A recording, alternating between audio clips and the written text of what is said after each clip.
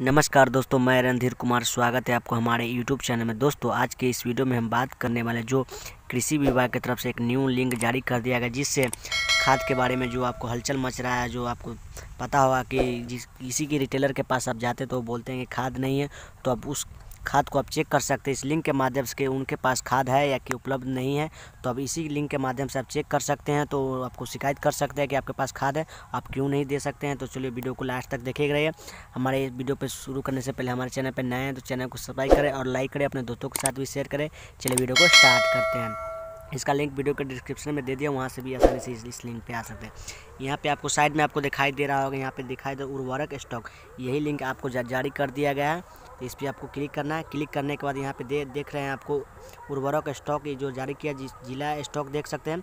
जिला के एजेंसी का रिटेलर आईडी देख, और यहाँ पे खुदरा जो बेच रहे हैं, खुदरा विक्रेता के भी आप स्टॉक देख सकते हैं। तो हमको देखना है खुदरा विक्रेता को तो इस पर क्लिक करना है और खुदरा विक्रेता पे आपको सिंपली आपको खुदरा विक्रेता का स्टॉक एवं मूल्य देखे पे आपको क्लिक कर देना है। क्लिक करने के बाद आपके सामने कुछ ऐसा इंटरफेस आएगा, आपको रिफ्रेश करना है। आपको एक बार रिफ्रेश करना है। तो इसी तरह आपके सामने कुछ ऐसा इंटरफेस आएगा तो नीचे स्क्रॉल करते जाना, आपको यहाँ पे दिखाई दे रहा होगा। स्टेट सेलेक्ट करना, जिस भी पूरे भारत में आप चेक कर सकते हैं ऑल स्टेट को चेक कर सकते हैं। और यहाँ पे सेकंड में डिस्ट्रिक्ट चेक करना, और रिटेलर आईडी उस रिटेलर खाद जहाँ पे लेते हैं, उसका पता हो तो ठीक है, नहीं तो उसका एजेंसी नेम से आप ही चेक कर सकते हैं। चलिए हम अपना फटाफट अपना स्टेट सेलेक्ट कर लेते हैं। हम बिहार से हैं तो बिहार का स्टेट सेलेक्ट कर लिया। आप जिस भी स्टेट से हो, आप जो सेलेक्ट कर सकते हैं। चलिए अपना डिस्ट्रिक्ट चूज़ कर लीजिए, चलिए हम डिस्ट्रिक्ट चूज़ कर लिए। अगर आपको रिटेलर आईडी नहीं पता है, यहाँ पे आपको देखा तो रिटेलर आईडी आपको नहीं पता है तो आप यहाँ पे एजेंसी पे आपको क्लिक करना है। यहाँ पे ऑल पे आपको क्लिक करना है। जिस नेम से आपको उसका खाद है, उस पर क्लिक करना है। चलिए हम एक को किसी को चेक चेक करके दिखाते हैं आपको। हमको नाम पता है तो हम चेक करके आपको बताते हैं। इस पर क्लिक कर दीजिए, यहाँ पे देख लीजिए, अमन खाद बीज भंडार हमने चेक कर लिए।